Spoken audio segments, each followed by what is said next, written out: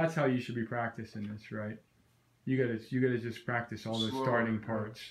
Yeah, starting points, slower track, getting into the groove, making sure you can just start anywhere, anywhere, you know, and then mixing that up with triplets. Have you done that yet? Mix the 16th with triplets? Yeah, let's do a little of that. Okay. Two, three, four.